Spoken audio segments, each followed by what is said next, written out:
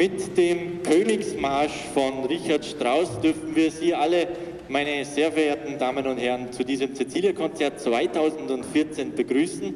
Ein Konzert der besonderen Art, aber dazu komme ich noch später. Begrüßen darf ich ganz herzlich unseren Hausherrn Pfarrer Gerhard Fuchsberger. Lieber Gerhard, vielen Dank, dass du uns obdachlose Musiker wieder einmal zu dir in die Pfarrkirche eingeladen hast. Aber nicht nur in die Pfarrkirche, sondern auch im Anschluss dann in den Pfarrkeller, wo ich auch jetzt schon recht herzlich einladen darf, dass ihr mit uns nach dem Konzert dort noch ein paar Stunden verbringt. Seitens der politischen Gemeinde darf ich begrüßen seit heuer neu Bürgermeister Franz Gangel und Vizebürgermeisterin Petra Gillhofer.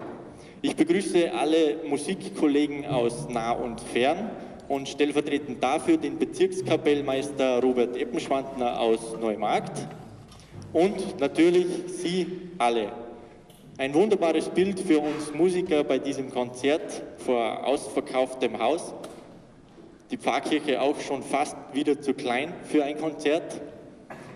Bei uns geht es weiter mit den nächsten beiden Stücken, Corsican Litany von Václav Velibel und im Anschluss daran das erste Solo dieses heutigen Abends.